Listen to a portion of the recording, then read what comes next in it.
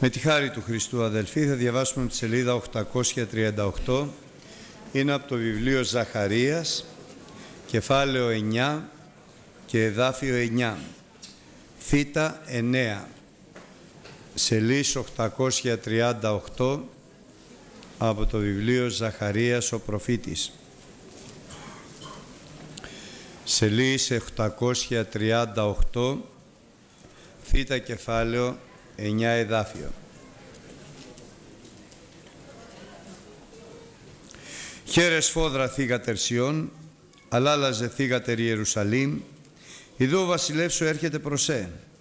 Αυτός είναι δίκαιος και σώζων, πραής και καθήμενος επιώνου και πόλου Ιού υποζυγίου. Και θέλω εξολοθρεύσει την άμαξαν από του Εφραήμ και τον ύπον από της Ιερουσαλήμ και θέλει εξολοθρευτεί το τόξον των πολεμικών και αυτός θέλει λαλήσει ειρήνη προς τα έθνη και η εξουσία αυτού θέλει είστε από θαλάσσης έως θαλάσσης και από ποταμού έως των περάτων της γης. Ζαχαρίας ο προφήτης, λόγος προφητικός ο οποίος είναι βεβαιότερος από οποιαδήποτε άλλη άποψη, γνώμη, σκέψη, φιλοσοφία ή και πρόρηση ακόμη. Λόγος προφητικός ο οποίος δεν έγινε ποτέ εξιδίας του προφητεύοντος διασαφήσεως, αλλά πάντοτε εκ του πνεύματος του Αγίου κινούμενοι οι Άγιοι, οι Άγιοι άνθρωποι του Θεού αποκάλυψαν, δηλαδή ο Θεός αποκάλυψε μέσω αυτών το θέλημά Του αλλά και το μέλλον δια πνεύματος Αγίου. Και 500 χρόνια π.Χ. περίπου με τον Ζαχαρία τον προφήτη ο Θεός φανερώνει το τι μέλη γενέστε στην Ιερουσαλήμ αυτές και εκείνες τις ημέρες όπου θα, θα αποκαλυφθεί και η αγάπη του Θεού με τον Ιησούν Χριστόν που θα περπατήσει και θα εισέλθει σε αυτήν αλλά και η κρίση του Θεού, η δικαιοκρισία του Θεού γιατί, ο Θεό, γιατί οι άνθρωποι δεν γνώρισαν και δεν δέχθηκαν αυτόν τον οποίο ο Θεός απέστειλε και είναι αδελφοί αγαπητοί πράγματι φοβερό να στέλνει ο Θεός τον Υιό Του το μονογενή στη ζωή των ανθρώπων και οι άνθρωποι να μην τον αναγνωρίζουν και να μην τον αποδέχονται.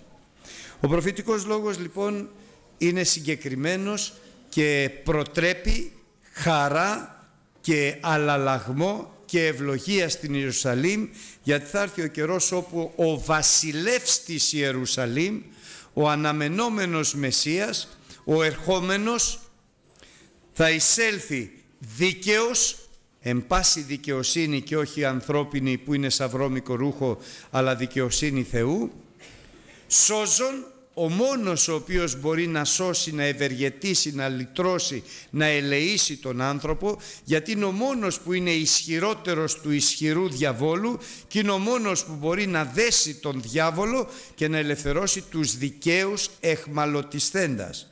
Ταυτόχρονα πραής θα ανέχεται τις προσβολές, τους διωγμούς, τους ονειδισμούς, τους εμπτισμούς και θα ανεχθεί εν τέλει και τον θάνατο τον επικατάρατο πάνω στο σταυρό του Γολγοθά και ταυτόχρονα καθήμενος ταπεινός και καθήμενος επιώνου και επιπόλου Ιού υποζυγίου. Μια συγκεκριμένη περιγραφή η οποία έλαβε χώρα ακριβώς όπως είναι γεγραμμένο και αυτό είναι το χαρακτηριστικό του Λόγου του Θεού ο οποίος είναι θεόπνευστος και δεν έχει καμία σχέση με τα λόγια τα ανθρώπινα.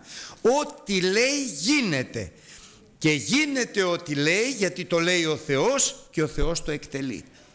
Ο παντοδύναμος Θεός, ο αιώνιος Θεός, ο Πατέρας, ο Λόγος και το Πνεύμα το Άγιο. Και πράγματι 500 χρόνια αργότερα εισήλθε ο Ιησούς Χριστός καθήμενος επιπόλου όνου και Ιού υποζυγίου δίκαιος σώζων και πραής αλλά όταν είδε από μακριά την Ιερουσαλήμ έκλαψε επ' αυτήν λέγοντας «Ήθε και εσύ τουλάχιστον Ιερουσαλήμ η μόνη που έχεις εσύ την ελπίδα να γνωρίσεις την ημέρα της επισκέψεώς σου από όλες τις πόλεις της ανθρωπότητος.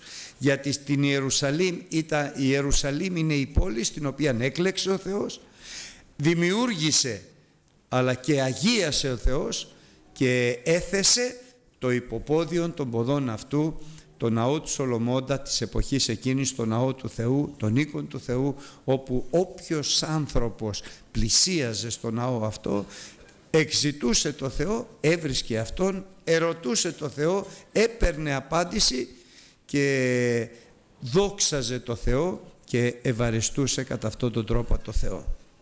Ο Ιησούς Χριστός λοιπόν έκλαυσε και κλαίει ο Χριστός όταν πλησιάζει τον άνθρωπο τον οποίον έχει ευλογήσει, έχει αγιάσει, έχει καθαρίσει σαν την Ιερουσαλήμ προσπαθώντας να του φανερώσει ότι ήρθε ο καιρός του και αυτός δεν καταλαβαίνει. Ήθε να εγνώριζες κι εσύ αλλά επειδή δεν εγνώρισες προφητικά ο Λόγος του Θεού είπε και θέλω εξολοθρεύσει την άμαξα από του Εφραήμ και τον ύπων από της Ιερουσαλήμ και θέλει εξολοθρευθεί το τόξον των πολεμικών τέλεια καταστροφή στον Ιούδα. Και αυτή την περιγραφή επίσης προφητεύει, προλέγει και ο Κύριος μας ο Ιησούς Χριστός, αλλά τώρα δια την απιστία, των δια την απιστία σου εκρύφθησαν από τον οφθαλμόν σου η ημέρα της επίσκεψής σου, γι' αυτό και θα έρθουν μέρες που οι εχθροί σου θα κάνουν χαράκομα γύρω από σένα, θα σε περικυκλώσουν, και θα σε στενοχωρήσουν πανταχώθεν και θα κατεδαφίσουν εσένα και τα τέκνα τα ενσύ και δεν θα αφήσουν μέσα σου λίθον επί λίθον διότι δεν εγνώρισες τον καιρό της επισκέψεώς σου. Και όπως αδερφοί αγαπητοί λέει ο Θεός έτσι ακριβώς γίνεται. Εισήλθε ο Κυριός μας ο Ιησούς Χριστός τον υπεδέχθηκαν με κλάδους βαΐων με φίνικες, φώναζαν ευλογημένος ο ερχόμενος βασιλεύς, αλλά με το στόμα και όχι με την καρδιά. Η πρόσκληση λοιπόν του Θεού είναι και σήμερα αδερφοί αγαπητοί να δεχθούμε τον Χριστό όχι με τα λόγια μας αλλά με την καρδιά μας. Να δεχτούμε αυτόν ο οποίος εισήλθε τότε στην Ιερουσαλήμ αλλά σκοπεύει να έχει και καλή συνέχεια και η καλή συνέχεια ήταν ότι αυτός πια θα λαλήσει η ειρήνη προς τα έθνη. Η εξουσία αυτού θα είναι από θαλάσσης έως θαλάσσης και από ποταμού έως των περάτων της γης. Πράγμα και το οποίο έγινε ακριβώς μέσα από την πρώτη εκείνη μέρα της Πεντηκοστής όπου άρχισε το έργο του Θεού και με ένα κήρυγμα διαπνεύματος Αγίου του Αποστόλου Πέτρου σώθηκαν 3.000 ψυχές καταρχάς, 5.000 ψυχές αργότερα. Μέσα από αυτούς τους ανθρώπους που σώθηκαν άντρες και γυναίκες, ο Θεός διάλεξε ανθρώπους γιατί ήταν ο καιρός να κηρυχθεί το Ευαγγέλιο σε όλη την οικουμένη, να διασπαρεί το όνομα του Χριστού και να λαληθεί η ειρήνη του Θεού σε όλα τα έθνη και να έλθει και η εξουσία του Ιησού Χριστού σε όλη τη γη και όλα αυτά έγιναν με ανθρώπους τους οποίους ο Θεός εξέλεξε. Ανθρώπους μιμητές του Χριστού που γνώρισαν πάρα πολύ καλά ότι όπως ο Θεός απέστειλε τον Ιησού Χριστόν και ο Ιησούς Χριστός έπρατε κατά πάντα το θέλημα του Πατρός Του έτσι και αυτοί απεστάλησαν και αποστέλλονται από τον Ιησού Χριστόν με μία εντολή προς τα γη με ένα θέλημα να πράττουν μόνο και κατά πάντα το θέλημα εκείνου που τους απέστειλε. Και έτσι ο χριστιανισμός σήμερα έχει καλύψει όλη τη γη, όμως δυστυχώς αφού πέρασαν κάποια χρόνια, 100, 200, 300, η καρδιά του ανθρώπου όπως πάντα απατηλεί και υπερπάντα σφόδρα διεφθαρμένη επλανήθη, επήρθη, απομακρύνθηκε από τα λόγια του Χριστού, βρήκαν μπροστά τους άλλα Ευαγγέλια και αν και στο Ευαγγέλιο του Χριστού λέει ότι εκείνος που έχει άλλο Ευαγγέλιο ας είναι ανάθεμα και άγγελος από ουρανού ας σου κηρύξει άλλο Ευαγγέλιο ας είναι ανάθεμα αυτοί δεν φοβήθηκαν το Θεό δεν έτρεμαν στο Λόγο του Θεού αλλά προχώρησαν σύμφωνα με τις επιθυμίες της πονηράς καρδιάς τους εξητώντας δική τους εξουσία και όχι την εξουσία του Θεού εξητώντας δική τους δόξα και όχι τη δόξα του Θεού, εζήλεψαν τη δόξα του κόσμου αυτού, εζήλεψαν τη δόξα των αυτοκρατόρων της εποχής εκείνης και έτσι η Εκκλησία του Χριστού μετά την φοβερή ανάπτυξη, αύξηση και πλήθυνση άρχισε να μαραζώνει μέσα από τις ανθρώπινες δοξασίες.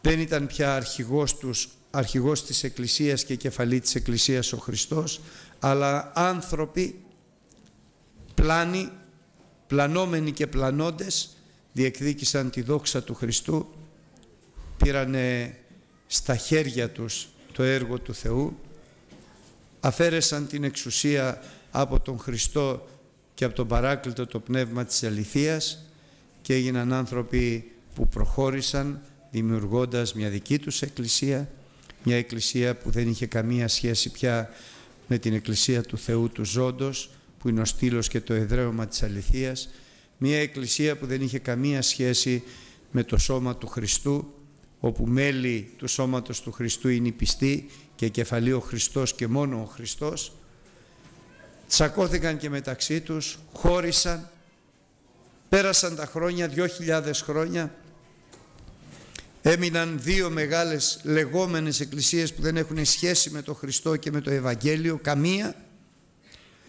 Ο Θεός όμως ξαναποφάσισε να ενεργήσει στη γη αυτή, δημιούργησε τη διαμαρτύρηση, ανθρώπους που εξεζήτησαν μέσα από το Ευαγγέλιο το Χριστό, αλλά και αυτοί πλανήθηκαν από την καρδιά τους μέχρι να φτάσουμε στις έσχατες ημέρες, τον τελευταίο αυτό αιώνα, όπου ο Θεός εκπληρώνοντας, εκπληρώνοντας το θέλημά Του αποφάσισε την έσχατη βροχή, όπως την πρώτη έτσι και την τελευταία, βροχή Πνεύματος Αγίου που άρχισε στην αρχή του αιώνα τούτου, στην Αμερική, στην Αζούζα, αλλά και στο Κάφκασο λίγα χρόνια νωρίτερα.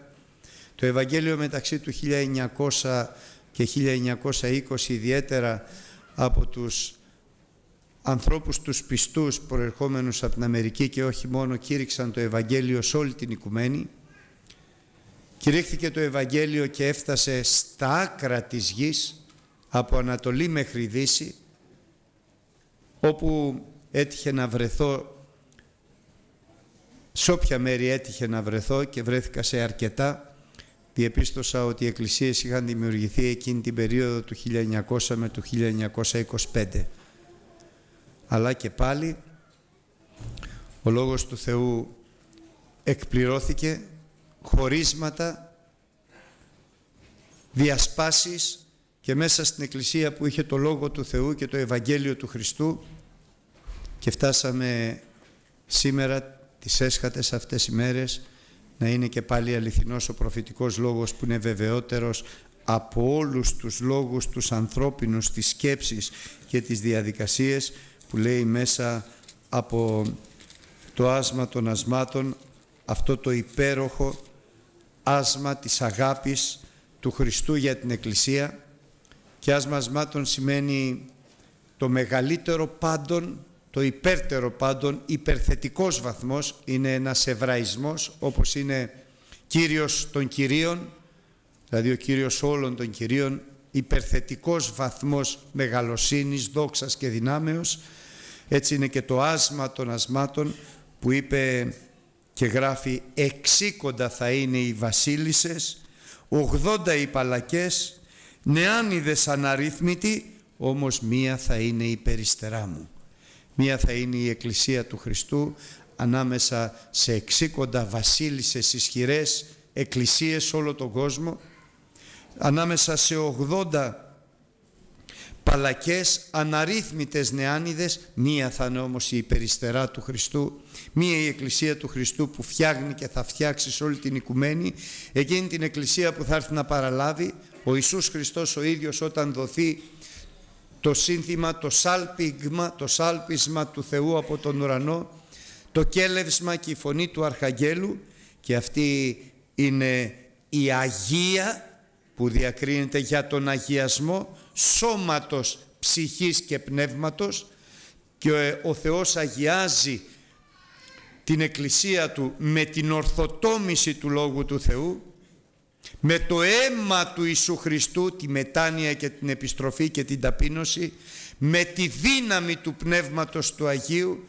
με τα χαρίσματα του Πνεύματος του Αγίου και με τις ενέργειες του Πνεύματος του Αγίου και τέλος με την κοινωνία μεταλλήλων που είναι η αγάπη, ο σύνδεσμος της τελειότητος.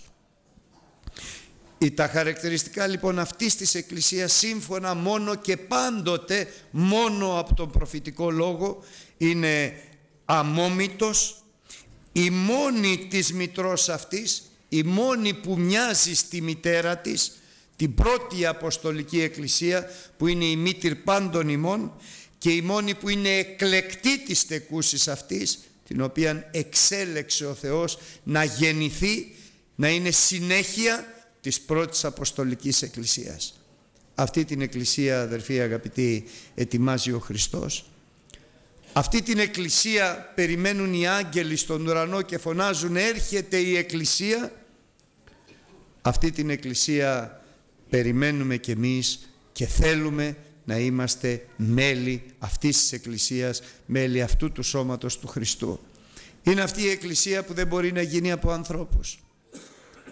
Είναι αυτή η Εκκλησία που δεν υπάρχει εάν δεν τη δημιουργήσει αυτός που δημιουργεί τα πάντα. Είναι αυτή η Εκκλησία για την οποία ο Κύριος μας ο Ιησούς Χριστός είπε «Σύ είσαι Πέτρος και επί της πέτρας εγώ ο Ιησούς ο Κύριος θα οικοδομήσω τη δική μου εκκλησία. Σε αυτή την εκκλησία θέλουμε να ανήκουμε. Και το σημερινό μας αίτημα όλοι μαζί είναι κάνε μας Κύριε μέλη, αυτή, μέλη να είμαστε μέλη αυτής της εκκλησίας. Κάνε μας όλη την Ελλάδα, σε όλη την Ευρώπη, σε όλο τον κόσμο.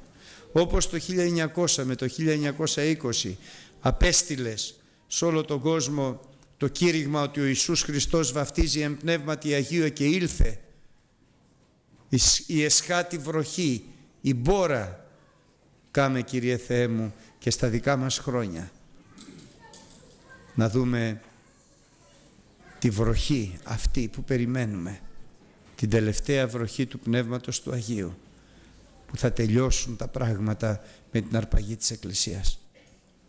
Και πριν να τελειώσω αδερφοί θέλω να σας πω και μια όραση που έδειξε ο Θεός. Δεν είναι πρόσφατη αλλά είναι συγκλονιστική τουλάχιστον σε μένα. Ήταν ένας νέος αλκοολικός στον οποίο είχαν δώσει λίγες μέρες ζωή γιατί είχε κύρωση του ύπατος. Και άκουσε για τον Χριστό, ζήτησε τον Χριστό, τον θεράπευσε ο Χριστός, τον βάφτισε ο Χριστός με Πνεύμα Άγιο και του δείξε μία όραση που δεν την έχω ξεχάσει ποτέ. Ήταν ένας άνθρωπος που μεγάλωσε στον δρόμο. Δεν μεγάλωσε σε οικογένεια. Ήταν από αυτούς τους τυχερούς, σε εισαγωγικά, που δεν γνώρισαν οικογένεια, δεν γνώρισαν αγάπη, δεν γνώρισαν στοργή, αλλά όλα αυτά τα γνώρισε στο τέλος της ζωής του, όταν έφτασε το τέλος της ζωής του, αλλά ο Κύριος τον θεράπευσε όπως είπαμε και ζει και βασιλεύει, τα γνώρισε μέσα και μόνο από τον Ιησού Χριστό. Και μια μέρα προσευχόμαστε και σηκώθηκε μετά την προσευχή, τα μαλλιά του ήταν σηκωμένα και είπε, ήρθε και με πλησίασε και μου είπε αδερφέ έζησα κάτι τρομερό. Δεν είδα, έζησα. Βρέθηκα σε ένα χώρο που δεν είχα ξαναπάει και μπροστά μου ήταν ένα τεράστιο αμπέλι το οποίο όμως όταν το βλέπες ήταν ολόβρωμο από σκόνες, από βρώμες, ε, ακατάστατο τελείως. Και ήλθε ο Κύριος και μου έδωσε ένα ντενεκέ και μου λέει πήγαινε να τον πλύνεις. Και παίρνω εγώ τον ντενεκέ, πηγαίνω προς τα εκεί και παραπονούμενος λέγοντας ότι όλα τα δύσκολα μου δίνουν εμένα και τα βαριά, πλησίασα αλλά κατάλαβα ότι ήταν αδύνατο να γίνει. Και ενώ καθόμουν και κοίταγα με προσοχή και με απελπισία το τεράστιο αυτό αμπέλι, ξαφνικά ανοίγουν οι καταράχτες του ουρανού. Σκοτεινιάζει ο ουρανός και αρχίζει και πέφτει μια μπόρα που δεν την έχω ξαναδεί. Λες και ήταν χιλιάδες δενεκέδες που άδειαζαν. Δεν ήταν βροχή, ήταν μπόρα και του λέω εγώ ήταν ιετός αδερφέ. Και έριγνε και έριγνε αλλά καθώς πρόσεχα η βροχή δεν έπεφτε έξω από τα όρια του αμπελιού. Ήταν φοβερή, τρομακτική, αλλά μόνο στα όρια του αμπελιού. Και ξαφνικά σταματάει όπως άρχισε. Και βγαίνει ένας ήλιος που δεν τον έχω ξαναδεί. Που έλαμπε. Αλλά όταν κοίταξα το αμπέλι, οι ρόγες του γυαλίζανε σαν διαμάντια από την καθαριότητα. Ήτανε ένα άλλο αμπέλι. Μια άλλη εκκλησία. Ένδοξη, αγία, τέλεια, μη έχουσα κοιλίδα η ρητίδα η των τιούτων, αμόμητος. Μια εκκλησία την οποία θα έρθει ο Χριστός να παραστήσει σε Αυτόν νυμφή για να σταθεί στον ουρανό και να γίνει ο χάμος του νυμφίου του Ιησού Χριστού και της νύμφης της Εκκλησίας. Και αδερφοί, εγώ το πίστεψα σαν Λόγο Θεού και το περιμένω αλλά δεν στηρίζομαι σε αυτό στηρίζομαι στον προφητικό λόγο στο λόγο του Θεού που το Ευαγγέλιο του Ιησού Χριστού λέει καλά κάμετε και προσέχετε στον προφητικό λόγο ο οποίος είναι λίχνος φέγγων σε σκοτεινό τόπο μέχρι να έλθει η αυγή της ημέρας και ο φωσφόρος να ανατείλει στις καρδιές μας. Και ο προφητικός λόγος, αγαπητά μου αδέλφια, είναι σαφής για την ημέρα αυτή και λέγει «Ζητείτε ιετό το καιρό της οψίμου βροχής». Ζητείτε ιετό. Και σήμερα ας κάνουμε μια ευλογημένη αρχή να ζητήσουμε αδερφοί αγαπητοί ιετό. Ιετό τις έσχατες αυτές οι μέρες να ανοίξει ο Θεός τους καταράχτες του ουρανού και να μας αξιώσει και μας όλους μας όσοι είμαστε σήμερα εδώ και όσοι ακούμε το Λόγο του Θεού. Να είμαστε εκείνη την ημέρα που θα έρθει η δύναμη του Πνεύματος του Αγίου. Να είμαστε μέσα και εμείς σε αυτή την Εκκλησία. Είμαστε αδύναμοι εις πολλά πτεωμένα άπαντες. Αλλά όταν θα έρθει η δύναμη του Πνεύματος του Αγίου ο ίδιος ο Χριστός θα μας αγιάσει και θα μας μετατρέψει όλους σε ένα σώμα Χριστού έτοιμο για να δει τη δόξα του Θεού. Πατέρα μας ευλογημένες στο όνομα του Χριστού στεκόμαστε την ώρα αυτή